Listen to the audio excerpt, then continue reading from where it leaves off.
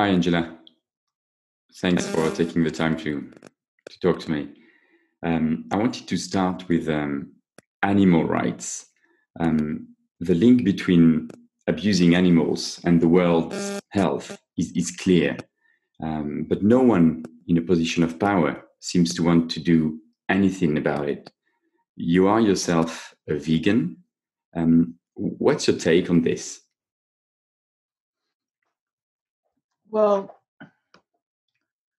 of course, um, you don't have to be a vegan to be opposed to the systematic uh, abuse of animals, um, which I think is very much related to the abuse of human animals. Uh, um, the way in which capitalism encourages a prioritization of profit over everything else has had disastrous effects on uh, the production of, of, of meat. Uh, and of course, all over the world, um, uh, if, if, if one looks at um, the cattle industry, uh, for example, if one looks at the chicken industry, one uh, sees that um, the industrialization of food production has led to a situation in which um, none of those involved actually reflect on what this process looks like from the vantage point of the animals uh, who are raised and then and then killed. Uh, you know, I'm I'm not suggesting that you have to be a vegan in order to have this uh, awareness. Uh, uh, in my opinion, it's a question of capitalism, uh, and you know, just as capitalism leads to structural racism that um, uh, plagues so many institutions and so many individuals, uh, so capitalism leads to forms of production, industrialized production of food uh, that uh, results in systematic violence, systematic abuse. So I, I, I, think it's a question of helping to encourage a, a greater and more popular awareness of, of the damage uh, that global capitalism has done and continues to do to this planet. Uh, COVID 19 um, is a direct consequence of global capitalism, for example. That, that's actually my next question. Um, another thing that COVID 19 has, has made obvious is that the destruction of nature, intensive farming, mining, as well as the exploitation of um, wild species have created a, a perfect storm for, for the spillover of diseases uh, another thing, a recent study in the UK revealed that the the the fact that there's less pollution in the last two months has has saved at least eleven thousand lives in Europe. So in a way, we we know what is wrong, right? But a world where facts would change minds still seems quite far away. How how do we explain that? Well, of course, uh, it's not enough to simply uh, present the facts or present the truth. We know this by now. Um, ideology uh, consists in creating um, ways in which people understand and imagine their relationship to the world. Uh, and and and of course, uh, there are those who who believe that um, climate change is non-existent. Uh, and I, of course, I'm talking about, uh, especially about uh, uh the um, current occupant of uh, the White House in Washington, and you know all of those with whom um, he is, uh, he feels connected. Um, yeah, it's not enough to simply represent what is going on. We um, have to develop strategies that uh, allow us to um, help people recognize the work that ideology does. Uh, Uh, and uh, among other things, it prevents us from recognizing the catastrophic uh, transformations that have happened as a direct result of, of, of capitalism. Uh, you know, how, um, how cities are so polluted uh, uh, that uh, it becomes really quite remarkable during these times of COVID 19 to witness, you know, what the city should really look like, uh, what Delhi should look like, uh, Los Angeles. You know, people are, for the very first time, uh, viewing mountains that surround urban areas that have been so polluted as a result of of, of, of the fact that uh, auto, individual automobiles are prioritized above public transportation. Uh, um, in many ways, you can say, and I'm using the words of um, Arundhati Roy, that this pandemic can be a portal, uh, um, and that we shouldn't simply yearn for what existed before the uh, large scale isolation and uh, shutdown of, uh, of economies and our uh, um, our social distancing practices. Uh, we shouldn't simply look to return to what existed before. Uh, we should use this time to reflect on what's possible.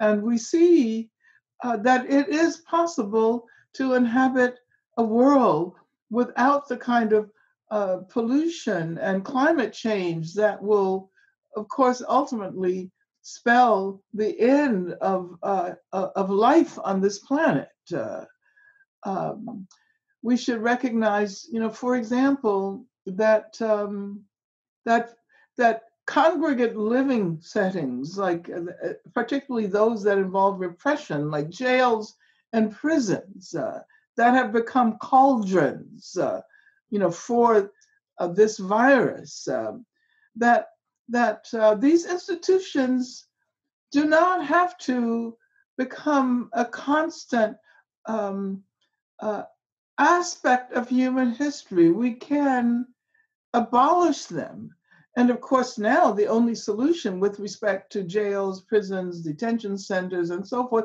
is to release people uh, because there's no way to social distance. Uh, there's no way to engage in the kind of hygienic uh, practices that are encouraged to keep people from um, uh, being exposed to uh, the virus. Yeah, Arundhati Roy said that this time can be a portal. And I think that we can reflect on what is possible uh, so that once we emerge from this situation, we're not content with reality as it existed before, but that we move in a direction of a more um, just and cleaner future. I was actually reading a, a, couple of days ago, I was reading that um, 70% of tested inmates in federal prisons in the US have COVID 19.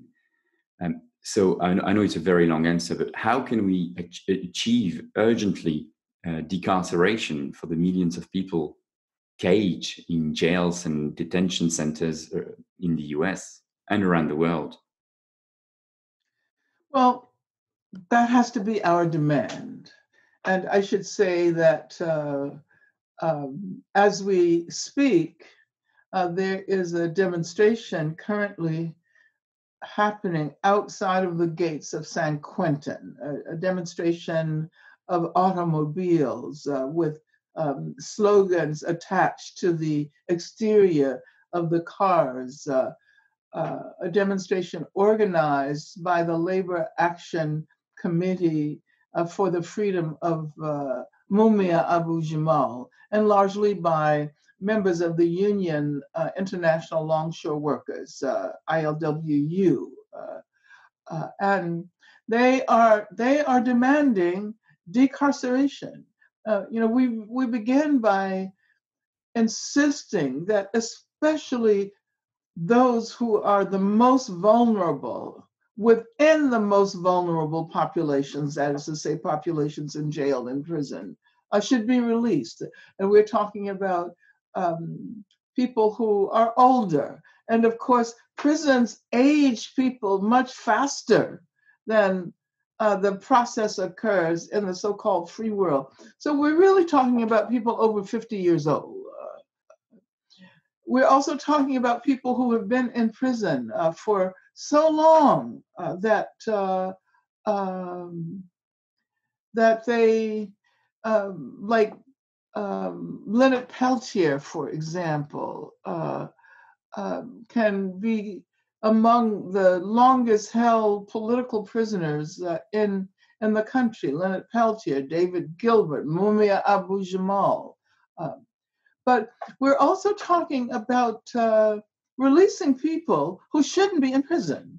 Uh, the jails should be emptied. Uh, j- jails are a place, of course, in the US where people awaiting trial are incarcerated, and those who are uh, convicted uh, of uh, offenses that carry less than a year um, imprisonment. And so we're demanding that all the jails should be emptied uh, and that prisons uh, should be subject to a process of decarceration. There are 2.3 million people behind bars in this country. You know, even if, even if we reach a point where it is safe to continue uh, without social distancing and without all of the hygienic practices that we've been engaging in over the last two months, and the virus is still uh, afflicting people behind bars, uh, uh, then we will never reach the point where we can, you know, actually say we have defeated uh, uh, COVID-19. I'm going to give you two numbers. Um, in Georgia, USA, 80% of hospitalized are African Americans. Also, I was reading that between mid March and early May in New York, 40 people were arrested for social distancing violations. Out of these 40 people, 35 were Afro Americans. So, what does this say about America today? Well, you know, for a long time, we've been talking about structural racism, the racism uh, that does not necessarily present itself uh, as, uh, as an aspect of the attitudes of individual people. Uh, we've been talking about the fact that, that racism has been embedded in the major institutions, the major social, economic, political institutions uh, for the entire um, length of the history of, of, of, of this country. Um, and and and and it's it's it's it's interesting that this is a period uh, that um, this is a historical period uh, that has uh, um, allowed for the recognition of what we call structural racism. Of course, some of us have been talking about this forever, for decades and decades, but finally, I think, you know, largely as a result of all of the work against um, police violence, uh, institutionalized police racism that is connected to um, the Black Lives Matter movement, uh, but also uh, the work that's connected with Palestine. Uh, uh, so the, the, the, the, the idea that racism is embedded in institutions and educational institutions and healthcare institutions and housing uh, in um, and the economy writ large. Uh,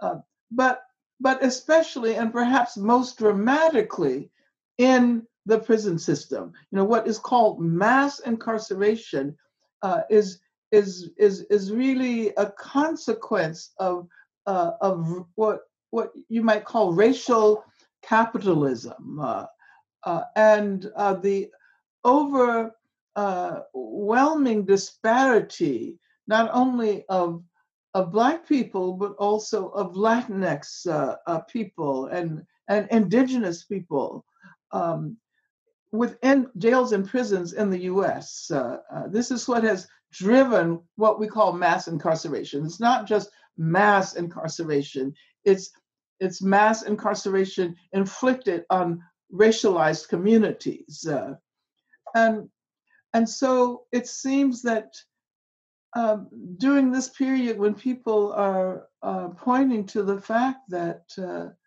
that Black people are disproportionately affected by COVID 19, uh, uh, that there should be some way of putting the two together. Uh, you know, why is it that the jails and prisons are overwhelmingly Black and, and, and people of color, and at the same time, the impact on communities of the coronavirus can be seen much uh, um, is much more devastating when it comes to Black communities and Latinx communities and, and indigenous communities, reservations. Uh, this, you know, what we are witnessing is a consequence of capitalism, of global capitalism.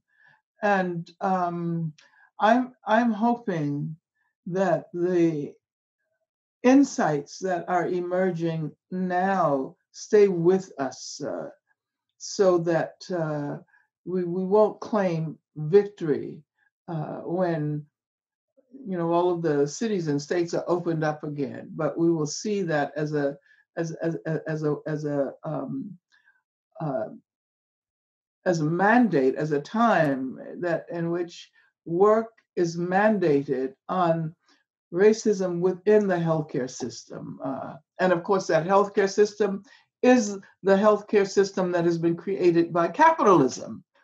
Uh, as a matter of fact, there never would have been these kinds of uh, uh, shortages and uh, hospital crises uh, had um, the healthcare system not been almost completely privatized, uh, using, um, you know, re- recognizing empty hospital beds as uh, uh, uh, uh, as a um, cause of the declining profitability of the particular hospitals, uh, recognizing shortages of supplies as a result of the just in time production um, policies that are linked to global capitalism.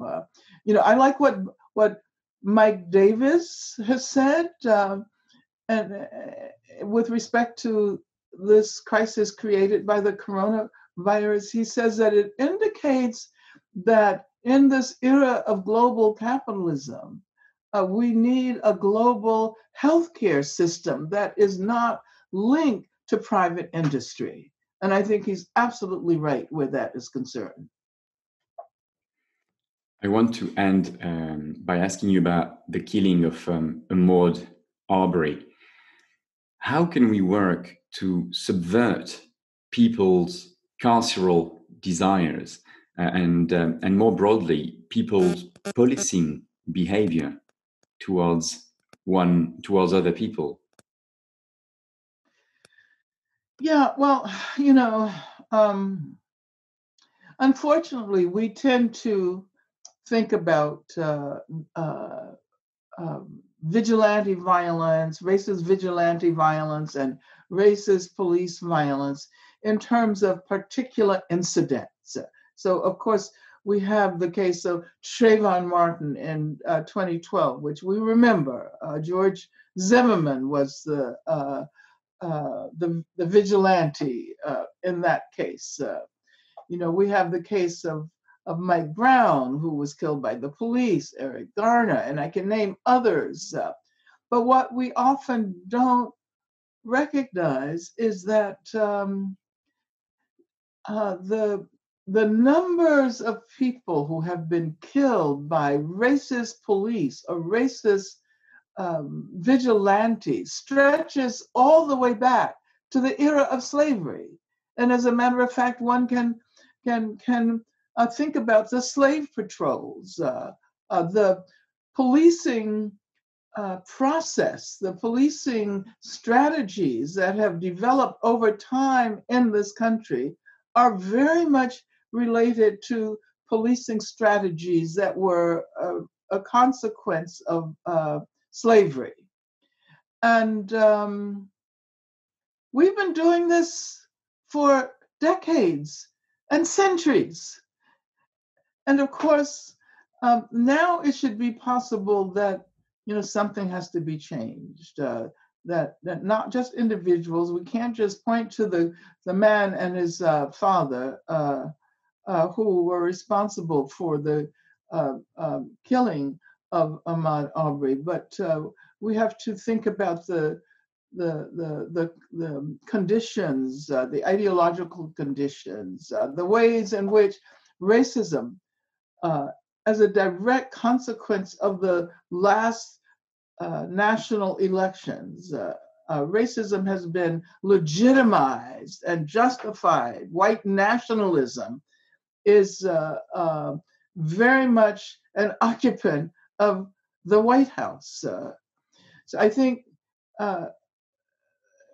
while while we should you know always be um, we should always feel deeply for those who have suffered, uh, you know, as a consequence of this racism. Uh, uh, but at the same time, we should recognize that it's not an individual uh, um, matter. That that that that that that we have to uh, stand up against white supremacy and you know all of the institutionalized forms of white supremacy. Uh, and we have to recognize that a victory in one case is not going to root out the deep uh, racism in all of these institutions uh, that affect uh, people like uh, uh, the men who are responsible for murdering uh, Ahmaud Arbery. Huge thanks for, for doing this. Oh, absolutely, absolutely. And right. good luck to you, Frank. Okay. Okay. Bye. Bye, Angela. Bye.